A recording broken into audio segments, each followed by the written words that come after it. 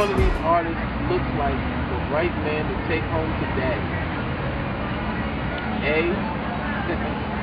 the Weeknd. B. Peter Hadar. Chop. So he not done. B. Frank Ocean. Or D. Jesse Boykins. Who? Jesse Boykins. I'll take Wiggins any day. Yeah. or.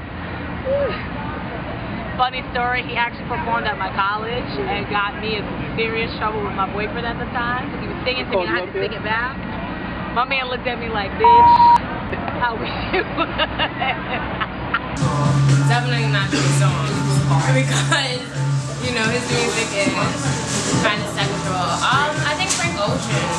I, I feel like him in the walking is kind of different. I don't feel like that's his kind of vibe. Yeah, I was just thinking way. about him the other day. Like Yeah. I don't feel like that's his type of vibe. They're all like you know weird, crazy, six six six and stuff.